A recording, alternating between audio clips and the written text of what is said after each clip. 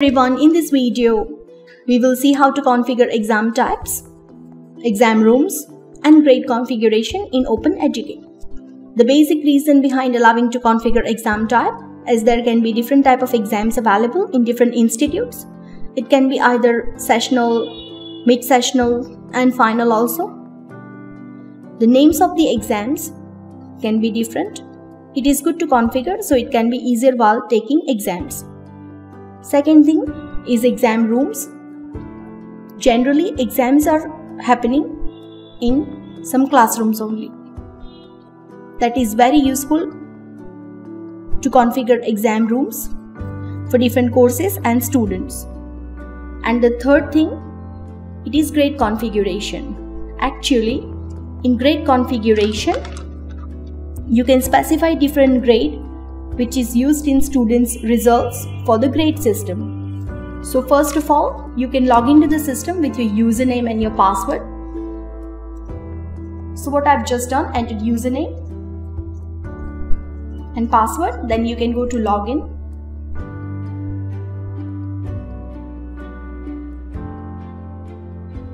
From this, you can go to menu, then you can go to exams from exams menu, you can go to the tab where it says configuration and then you can go to exam types. In exam types, you can go to create exam types and you can provide name for the exam types. So in this one, you can enter as mid-sessional. Next thing, you can enter code for the exam type. You can save the information from the top. Then you can go back to configuration and then you can configure exam rooms. Create exam rooms, click on that. Now you can provide name for the exam rooms.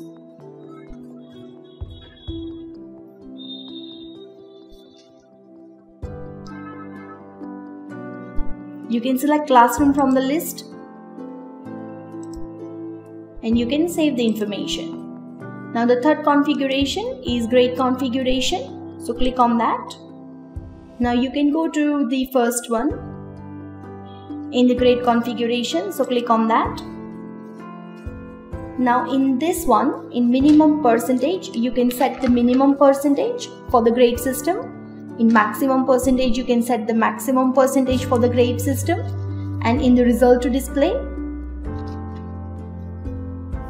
you can include grading value like A plus A, B plus B based on minimum and maximum percentage.